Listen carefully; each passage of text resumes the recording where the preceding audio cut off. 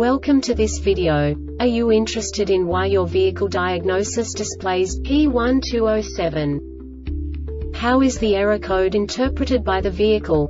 What does P1207 mean, or how to correct this fault? Today we will find answers to these questions together. Let's do this. First, let's look at the history of diagnostic fault code composition according to the OBD2 protocol, which is unified for all automakers since 2000. We divide the electric system of automobile into the four basic units. Powertrain, body, chassis, network. This distribution is defined in the first character code. If the second character is expressed as zero, it is a standardized error.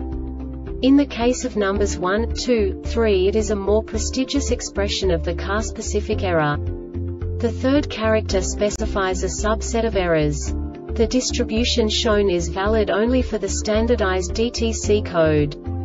Only the last two characters define the specific fault of the group. Let's not forget that such a division is valid only if the other character code is expressed by the number 0.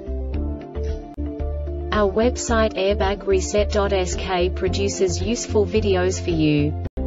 You do not have to go through the OBD2 protocol anymore to know how to troubleshoot any car breakdown. You will find all the diagnostic codes that can be diagnosed in a GMC vehicles. Also many other useful things. The following demonstration will help you look into the world of software for car control units. You unbelievably can move the video a bit further. The error code is split into two bytes consisting of 16 bits. One bit is the basic unit that each computer works with. The bit has two logical states. 0, low level, 1, high level. By combining the first two bits, the basic character of the error code is expressed. The next two beats again determine the second character. The last beat styles of the first byte define the third character of the code. The second byte is composed of a combination of 8 bits. The first 4 bits determine the fourth character of the code. And the combination of the last 4 bits defines the fifth character. A single byte conceals 256 possible combinations. We now know in what way the diagnostic tool translates the received information into a more comprehensible format. The number itself does not make sense to us if we cannot assign information about it to what it actually expresses. So, what does the diagnostic trouble code P1207 interpret specifically GMC car manufacturers? The basic definition is abnormality in periodical signal for RR wheel speed sensor. And now this is a short description of this DTC code.